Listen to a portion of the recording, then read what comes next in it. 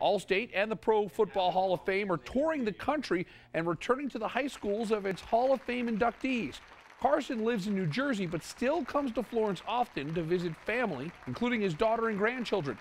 They were all on hand as Carson spoke to them and Wilson High students about how much Florence means to him.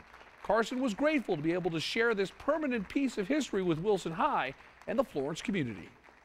You know, that's, that's a special thing that, you know, introduced me to the Hall of Fame on a local level. That really is what it's all about. And, and that's the thrill that I get because it, it, it gives the Hall of Fame to have uh, an opportunity to have somewhat of a presence here in Little Florence, South Carolina.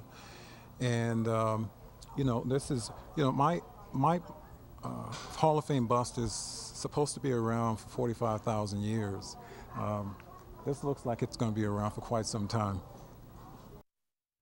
And it was certainly a great thrill for me to be the master of ceremonies for this event.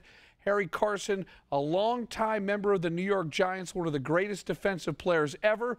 And as a 16 year old, I was in the stands at the Rose Bowl when Harry Carson was the captain of the New York Giants, beat John Elway and the Denver Broncos. And who would have thought that that 16 year old kid would have been introducing Harry Carson today?